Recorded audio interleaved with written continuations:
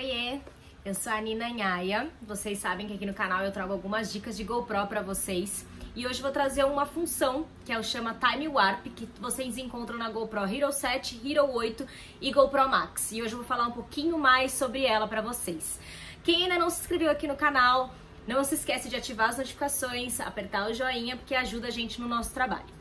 E aí hoje eu vou passar algumas dicas para vocês de como ativar essas funções, o que elas fazem de diferente o que vocês conseguem gravar com ela. É uma função muito legal que poucos de vocês usam, mas que vale muito a pena quando a gente faz alguns vídeos. Fica bem diferente e ajuda a gente porque querendo ou não já é uma função automática. Você não precisa fazer uma edição pós-gravação. E eu vou explicar um pouquinho disso aqui.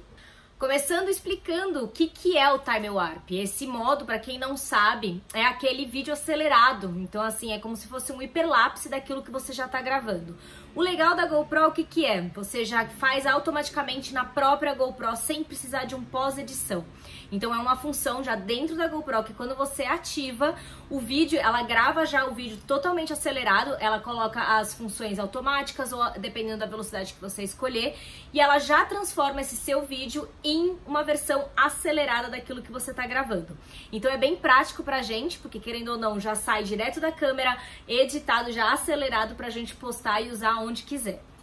E esse modo é muito legal pra gente filmar coisas longas. Então, por exemplo, uma montagem de quebra-cabeça, igual esse vídeo que vocês estão vendo agora, que eu fiz toda a montagem do meu quebra-cabeça com ele.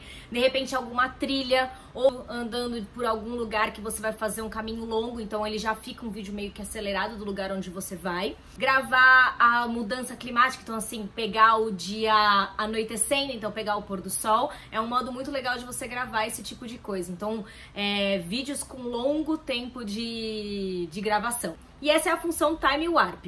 Hoje a gente encontra somente nas câmeras novas, então é a partir da Hero 7 Black, Hero 8 Black e Max, GoPro Max, que é a câmera 360 da GoPro. E agora o que eu vou fazer? Eu vou passar passo a passo para vocês em cada câmera, para vocês saberem como ativar esse modo na tua câmera, como usar e também algumas diferenças entre uma câmera e outra. Por exemplo, na Hero 8 tem uma diferença que não tem na Hero 7 e eu vou explicar isso para vocês agora. Vou começar com o exemplo da GoPro Hero 7. É só arrastar aqui no seu menu em lapso de tempo. Ali no menuzinho esquerdo onde eu cliquei, você vai ver o menu da configuração inteira que tem nesse modo. A primeira opção é Video Time Warp. Você clica nela e bem ali no meio, tá vendo onde tem as configurações de resolução de imagem, velocidade e lente?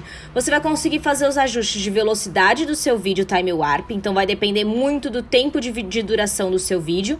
Você escolhe a velocidade para gravar, ajuste ajuste de lente e de resolução. E pronto, é só gravar o seu vídeo.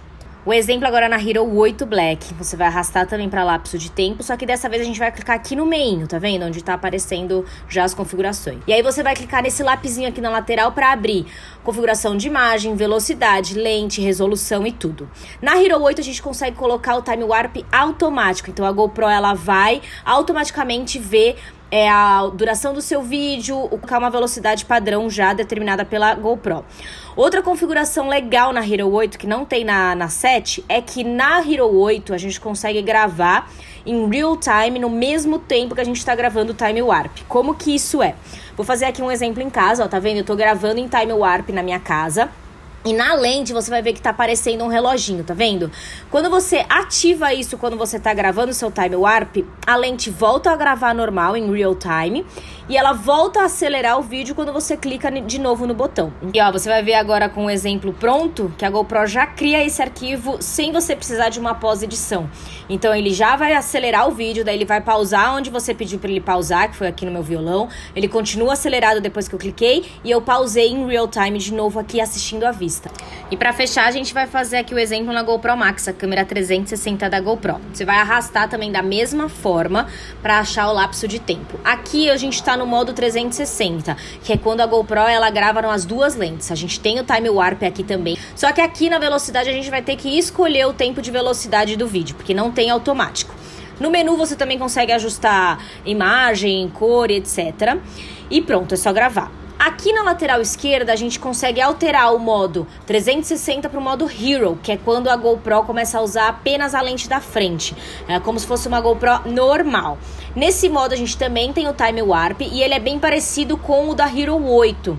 A gente tem as mesmas resoluções, consegue mudar a lente e a velocidade a gente consegue também colocar automática, o que não acontece no modo 360 nem na Hero 7. E outra dica é ativar o nivelamento de horizonte que tem disponível no modo Hero da 360, lá no Time Warp também. Tema do próximo vídeo, mas eu já adianto que faz muita diferença quando a gente ativa esse modo na nossa GoPro. Como vocês viram aí no exemplo que eu coloquei, ah, tem bastante diferença entre a Hero 7, a Hero 8 e a GoPro Max, né? Então as três câmeras elas chegam no Time Warp de formas diferentes, como eu mostrei aí pra vocês. A diferença da Hero 7 para a Hero 8 é o modo real time, então na Hero 8, como eu mostrei para vocês, vocês conseguem pausar o vídeo na própria, no próprio software da GoPro mostrar um pouco do real time e quando você clica novamente ela continua gravando acelerado, o que não tem na Hero 7 Black, e também a estabilização da imagem. Já na 8 e na Max, é, a, a, estabilização da imagem fica muito surreal, como vocês viram. Na Hero 8 para Max, a diferença é que a Max, por ser uma câmera 360 e também ter o modo Hero, o Time Warp você consegue gravar nessas duas formas.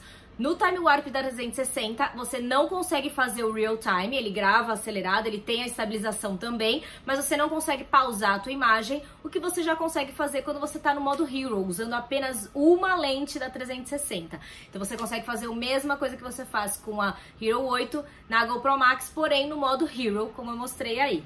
E como vocês viram, esse é o modo Time Warp, que é um modo muito legal na GoPro e que pouca gente usa. Então a gente consegue criar coisas muito legais com ele, sem precisar pensar assim num pós-edição. Então ele já entrega o material pronto para você.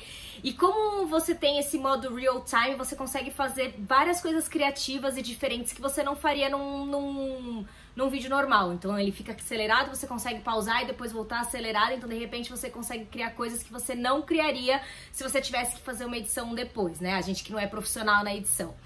E é isso, gente. Espero que vocês tenham gostado das dicas. Se vocês tiverem qualquer dúvida, não esquece de me mandar aqui nos comentários ou pode me mandar lá no Insta, Nina Inhaia, que eu vou fazer questão de responder todos vocês.